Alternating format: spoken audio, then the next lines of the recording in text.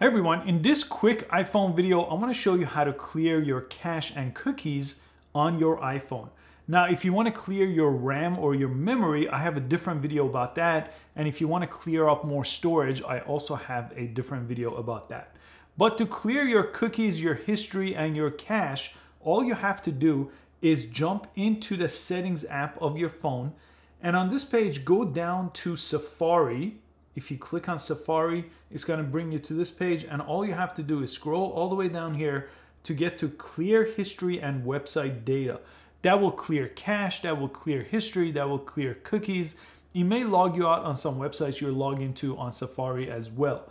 But if you just press this right here, it says clear history and data, you're removing cookies, browsing data, cache, and all you have to do is press it one more time on this page and if it shows grayed right here, that means the process has been successful and you've cleared all cache and all memory.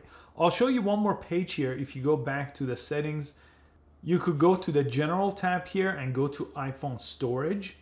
And here you could jump into any app here and you could see some of the data those apps are taking up as well. And if you really need to clear that stuff inside of different apps, you could go ahead and delete the app here. That's one way to clear data on individual apps. But what I showed you would clear cache cookies and history on your iPhone.